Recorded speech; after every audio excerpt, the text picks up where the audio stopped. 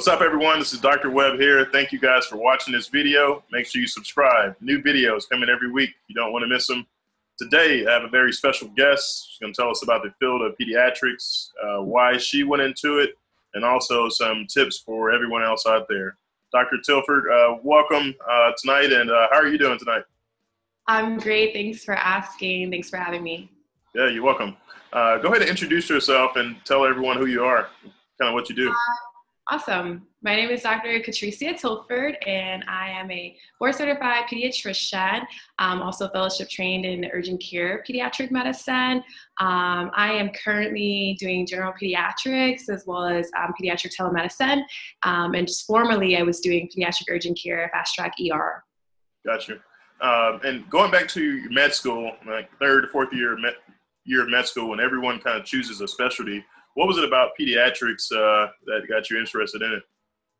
Actually I have a very non-traditional route. Um, I didn't do a typical um, four-year medical school. I actually went to medical school right out of high school um, in a combined program. So I did um, a six-year BA MD um, accelerated program, and so essentially, like we had a lot more clinical experience, like you really from year one, which is would be a traditional, I guess, year one undergrad. Wow. Um, and I actually chose psychiatry first. So I finished med school. I started residency in Augusta, Georgia, and actually did two years of psychiatry with the intentions to do child psychiatry. Um, and then I just was like, I don't want to do this anymore. I missed my first love, which is peds. And so I switched. I was able to stay at the same institution um, and did a different residency, pediatrics, and accelerated through that since I had some credit already under my belt um, and was able to complete that. But essentially, going to medical school, it was always wanting to work with kids. It's just I changed that uh, venue of how I would do it. Wow, that's pretty interesting. I haven't met a lot of people who did a accelerated path of med school in college. Uh, so you graduated from med school. Uh, how old were you when you graduated med school? 23. Holy crap, that's crazy. yeah, I think there was one person in my class in med school who was uh, maybe she was 24. That was probably yeah. So you were really young. Um, how was that kind of um, combined program? Getting your bachelor's at the same time as getting your MD degree. How was that?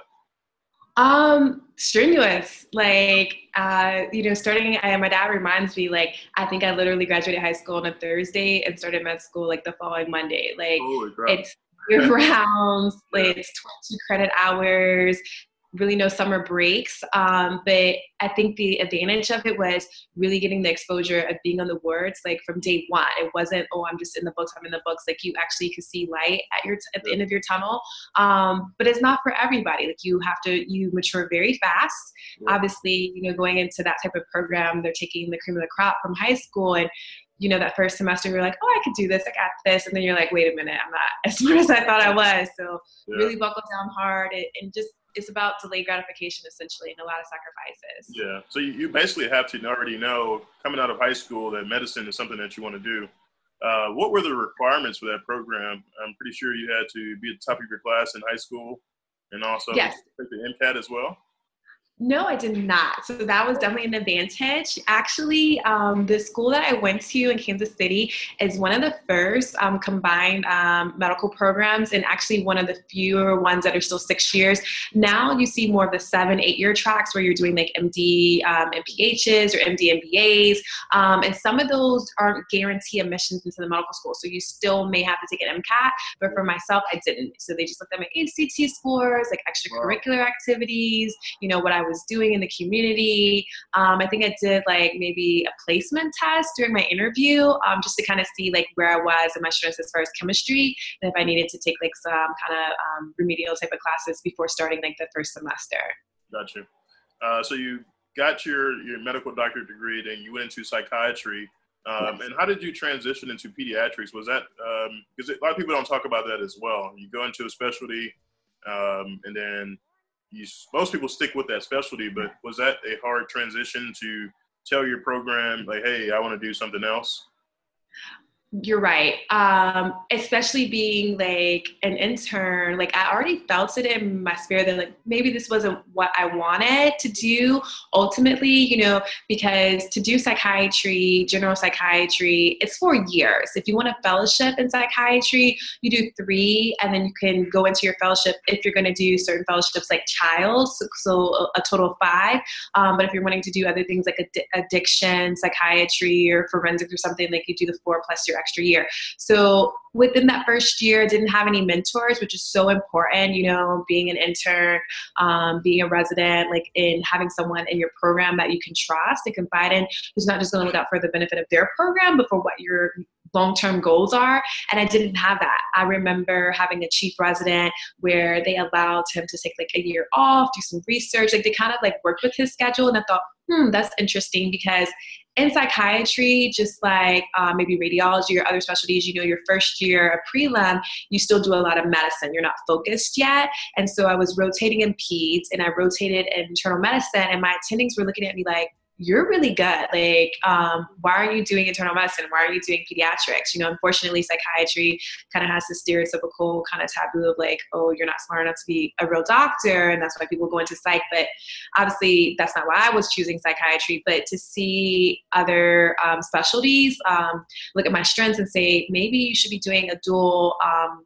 medicine program, which they do exist, psychiatry and emergency medicine or psychiatry and family medicine. So I went back to my director and said, Can I do something like this? And they're like, No. And so I spent another year, still no mentor. And then finally, halfway through my second year, a mentor came and I was like, I don't think this is for me. She's like, You're right. And so I approached the program director at Peds. I was like, I know you don't know me, but you know, I got those attendings who remembered me from working in Peds and asked them to write letters on my behalf. And just by the look of the draw, like that match season, because um, I didn't have the time to go back through match. I didn't have the time to like I'm still doing psychiatry rotations and studying for step three, and so they interviewed me like, and they the people that they um she was like I don't have a spot, can guarantee, but she still interviewed me, and I think they called me the day after match and said we didn't fill all of our spots. Are you still interested? And I was like, I am. yeah. So one day you were a psychiatry resident, the next day you were a pedi- pediatric resident. Wow. Exactly. Yeah. yeah so you, you got through your pediatric residency and then you, you took your boards, your board certified pediatrician. Uh, what, what is a typical day for you? It kind of starts at what time and ends? How, how do your days usually look? Yeah, totally understandable. Well, it depends on the scope of practice. Um, with peds, where generally they can vary. Like for me, I'm right now doing general pediatrics, which I just transitioned back into. Well, I shouldn't say back into. I've never done general pediatrics prior to this year. So my typical day right now is kind of like an eight to five, eight to four.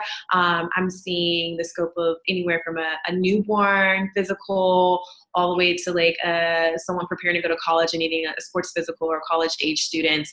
Um, so sick visits, um, well child checks, getting people ready to go back to school, getting them caught up on their shots, talking to moms who are concerned about um, why their child is not eating, how to potty train their child, like a, a scope of things. Um, prior to that, I was doing urgent care fast track ER, and so those hours varied. It's a lot of shift work, um, a lot of procedures, hands on, kind of a hustle and bustle. This is the sickest patient, let's focus on them first. While in the other room, I'm looking at an ear infection. In the other room, I'm waiting for the anesthetic to kick in so I can suture them up really quick. So um, it's a, a, a, different spectrum, or um, but I, I like both. Got you. Uh, so to become a pediatrician, it requires you know med school completion, which most people was four years. You're a little bit the uh, abnormal person, um, and then three years of uh, residency. Yes. For pediatrician. And what type of fellowships can you do after that? What What are some options?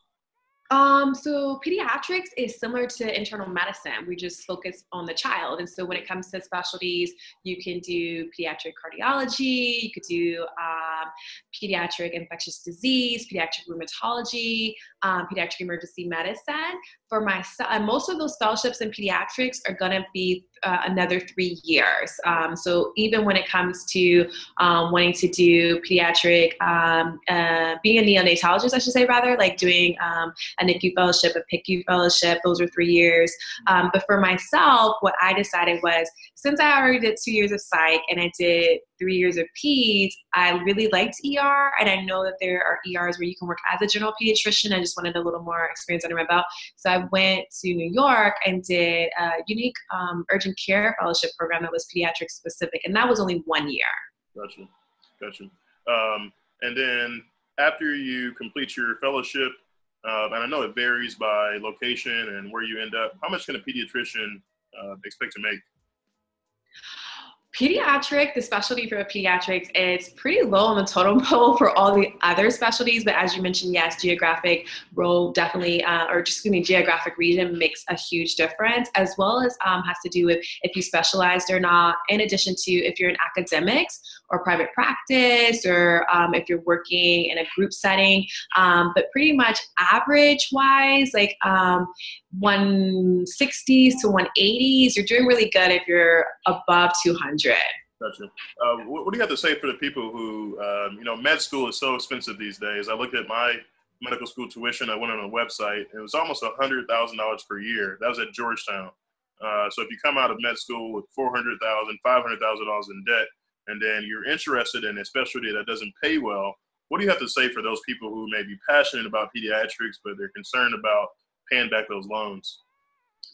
That's a great question. Um, you have to remember what was the reason for going into medical school? Like what it what's your passion? Like if, if, this is your purpose like you have to remember the art of medicine and that that is what is your motivate uh, what motivates you every day to wake up is that you're there for your patients and you're making a difference especially in peds because we have the opportunity to make an impact you know and change someone's life. Like I, when you talk to a lot of people they just say why did you decide to go in medical school? Well it was a doctor that i had when i was younger you know like in fact i have patients today that said you know i usually ask them what do you want to be when you grow I want to be this. I want to be that. I want to be a pediatrician is what she said. So the fact that you could be that model for somebody, um, that you're making a difference, not in just your patient's life, but the whole family. You know, in pediatrics, I'm not the mom's physician, but essentially like I'm practicing for the whole family. So it's really about making a difference. Um, nowadays, with um, being a physician, you know, we're being taught a lot more in regards to like business aspects. So I would say, hey, don't just work for your hospital, don't just work for your clinic. Like